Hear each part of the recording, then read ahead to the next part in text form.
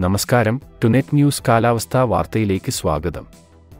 മധ്യപടിഞ്ഞാറൻ ബംഗാൾ ഉൾക്കടലിനും വടക്കുപടിഞ്ഞാറൻ ബംഗാൾ ഉൾക്കടലിനും മുകളിലായി രൂപപ്പെട്ട ന്യൂനമർദ്ദം ശക്തി കൂടിയ ന്യൂനമർദ്ദമായി മാറി. അടുത്ത ഇരുപത്തിനാല് മണിക്കൂറിനുള്ളിൽ വീണ്ടും ശക്തി പ്രാപിച്ച് തീവ്ര ന്യൂനമർദ്ദമായി മാറാൻ സാധ്യതയെന്ന് കേന്ദ്ര കാലാവസ്ഥാ നിരീക്ഷണ വിഭാഗം അറിയിച്ചു. ശേഷം പടിഞ്ഞാർ വടക്കുപടിഞ്ഞാറ് ദിശയിൽ സഞ്ചരിച്ച് വടക്കൻ ആന്ധ്രാപ്രദേശ് തെക്കൻ ഒഡീഷ തീരത്തേക്ക് നീങ്ങാൻ സാധ്യതയെന്നും കേന്ദ്ര കാലാവസ്ഥാ വിഭാഗം അറിയിക്കുന്നു. തെക്കൻ കൊങ്കൺ തീരം മുതൽ വടക്കൻ കേരള തീരം വരെ തീരദേശ ന്യൂനമർദ്ദ പാത്തി സ്ഥിതി ചെയ്യുന്നു. വടക്കുപടിഞ്ഞാറൻ മധ്യപ്രദേശിനും കിഴക്കൻ രാജസ്ഥാനും മുകളിൽ ചക്രവാതച്ചുഴി സ്ഥിതി ചെയ്യുന്നു. തെക്കൻ പാകിസ്ഥാന് മുകളിൽ മറ്റൊരു ചക്രവാതച്ചുഴിയും നിലനിൽക്കുന്നു.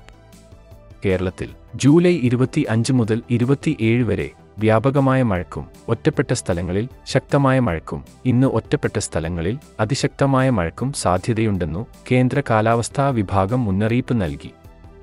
അതിശക്തമായ മഴയ്ക്ക് സാധ്യതയുള്ളതിനാൽ കോഴിക്കോട് വയനാട് കണ്ണൂർ കാസർഗോഡ് ജില്ലകളിൽ ഇന്ന് ഓറഞ്ച് അലർട്ട് പ്രഖ്യാപിച്ചു.